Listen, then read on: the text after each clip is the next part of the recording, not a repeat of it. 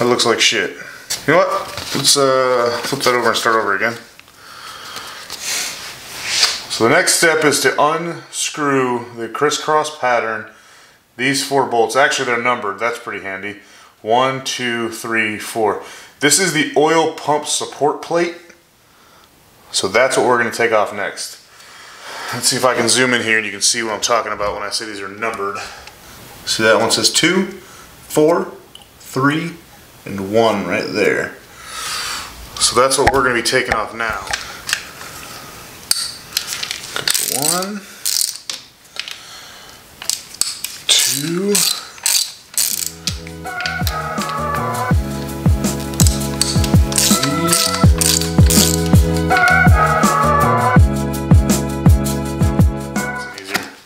Okay, so there's what I got. Cam plate, oil pump bolts, and then the six outer bolts. This looks stupid, I know. I mean, the actual drawing. But this is a very, very handy tool to have. I shouldn't even say tool, just a little thing to do. Because even though you may be replacing bolts and this and that, these will help keep things in order. You have a, it's basically a map of where everything goes whenever you're doing this. And when you're doing stuff like this, that like you've never done before, like me, every little bit helps. Using a crisscross pattern loosener, remove the remaining six Allen bolts, securing the cam plate. One, two,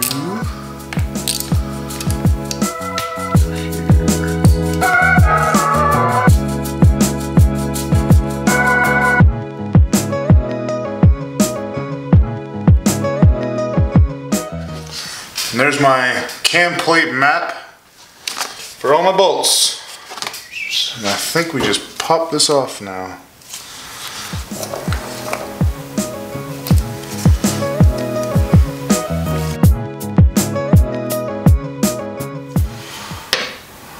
Okay. So there's the cam plate with the cams. Okay, as you can see, the cam plate is off. The cams are out because they're attached to the cam plate.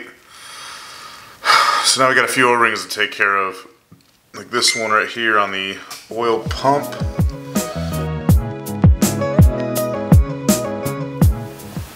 Lower and upper O-ring, which is here.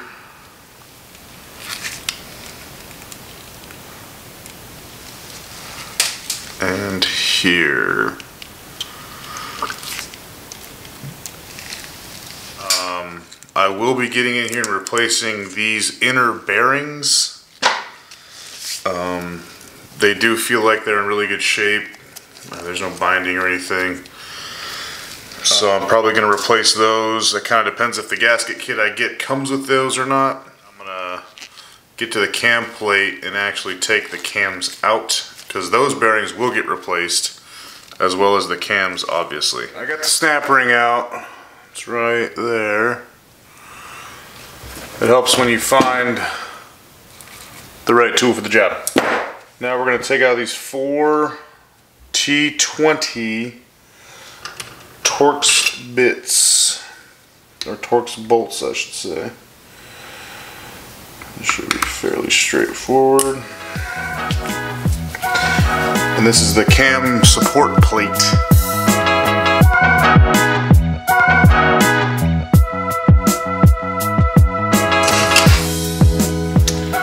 Now that just pops out like that.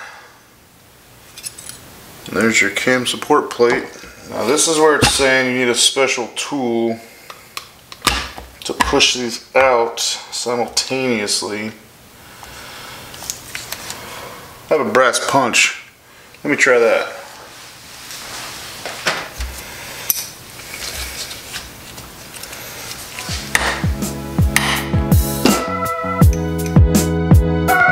Where I left off last time. Battery died in the camera. But I think I was in the middle of getting the cams out.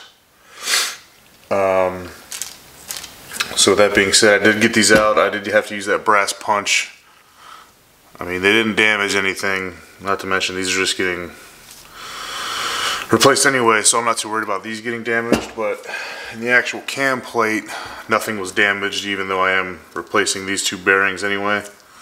So it's not really that big of a deal. So I just wanted to go over some of the new stuff that I got for the valve train. Um, obviously the cams, the Feuling Reaper 574 cams. Um, you can just look at the difference in these two. This is the stock Harley cam and this is the Feuling cam. There's a monstrous difference in the quality of these. Just even like the casting marks on these. Um, these are all machine, got nice machine edges and everything on them. Obviously, that's the big bulk of this project is the cams. Um, I went ahead and replaced the chain tensioners. Um, this is the old one. This is the secondary one, the one behind the cam plate. As you can see, it's worn down quite a bit. It's actually in pretty good shape for as many miles as this thing has. Um, but I went ahead and bought a new one from JP Cycles. The lifters. Um, these are the Feuling HP Plus lifters. These ones are. And these are the stock lifters. I can't lie, they look a lot alike as far as the oil feed hole is the same size. Um, I mean, they look identical. I think the hole in the top of this one's a little bit bigger in the Feuling one than in the stock one. Um, but they look very similar, but these are also, they needed replace. There's some marring on the sides of these. Um, all these scorch marks on the top of it. So, yeah, might as well accompany new cams and everything with new lifters. Um, new push rods. This was a recommendation from the people at Feuling. Um, just because the high lift on these cams may cause the stock push rods to flex. And these big motherfuckers will not. These things are heavy. Like, they're twice the weight of the stock one. I mean, you can just look at these and tell the difference. Not just even in the tapering at the ends here instead of the ball, but even the thickness of them. These are 0.165 thick wall, 10.4 inch for the intake and 10.525 for the exhaust. So they are stock length, one piece. Um, but yeah, these things are fucking hefty. And this thing feels like tin compared to this. And of course they say Feuling, exhaust, so you don't get them mixed up because they are different lengths. Um, I did buy a new oil pump. It's not here yet. But this is the stock Harley oil pump. Um, I got the Feuling, the OE Plus oil pump. They say it's recommended when you put new lifters in to get the Feuling oil pump to accompany the lifters. It'll help them work better. Just to, you know, get this cam chest you know, crack it open one time and hopefully get it done. Obviously, I didn't opt for the cam plate. Uh, that cam plate is quite an investment. I want to say it's like four or five hundred dollars. So everyone I talked to at Feuling said this cam plate will work. The benefit of the Feuling cam plate is you get the hydraulic tensioners instead of the spring tensioners on the front and on the back. So you can also do the same thing with a Screaming Eagle cam plate. You can get the hydraulic tensioners, but I've never had issues with these knock on wood. So hopefully I can continue that and not have any issues and not have to worry about buying a cam plate for a while. Yeah, I have some other stuff coming. The Feuling cam install gasket kit that comes with all O-rings, all gaskets, uh, the new, the two bearings for the cam plate, um, the inner cam plates for inside the cam chest. So things are slowly trickling in other than a couple issues with JP Cycles, with them sending me the wrong damn part. Um, things are going pretty fast, a lot faster than I thought they were going to. Yeah, that's it for the cam chest teardown. I did somehow lose footage on that video. I don't know where the video went, but it was the actual video of me popping the cams out with that punch and the video of me fucking with that circlip on the um, the front of the cam. The next series of videos is going to be um, the bearings. It's going to be pressing, removing and pressing in the new cam plate bearings, as well as the inner cam bearings with a fucking phenomenal little trick that doesn't involve a $120 tool or whatever it is. So stay tuned for that. It's going to be a good one. I was surprised at how good this trick worked. Uh, yeah, a lot of big things going on right now. Uh, I just finished painting the bike. I'm working on sanding and polishing now.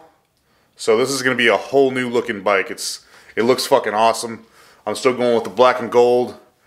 But yeah, I can't reveal anything yet because it's it's going to be fucking sick. And now I finally kind of got good at polishing, so everything's going to be a fucking mirror finish. It's going to be great. If you know anyone that needs help with their Dyna, anyone that owns a Dyna that's, that wants to jump into something like this, tag them, share them, let them know. So as always, thanks for watching. Thanks for commenting if you're commenting. Thanks for sharing if you're sharing. Uh, spread the word.